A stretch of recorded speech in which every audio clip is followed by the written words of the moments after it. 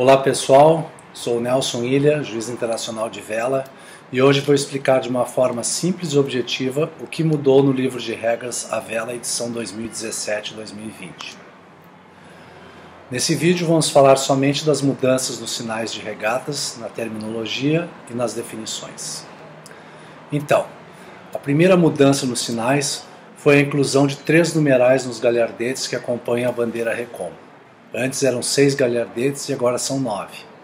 Note que os tempos de postergação se referem sempre ao horário programado para a partida.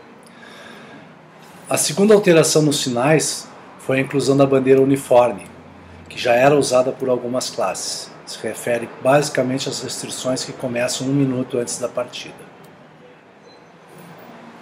No capítulo que fala da terminologia, alguns termos foram adaptados ou incluídos como no caso da diferenciação entre o termo barco e embarcação, definição de comitê técnico, definição de competidor, de comissão de regatas, de autoridade nacional e regras de regata. Mas nesse primeiro vídeo, as principais mudanças estão nas definições. Para adequar as mudanças à nova regra 69, foram eliminadas a definição de parte interessadas e incluídas definições de conflito de interesse e de pessoal de suporte.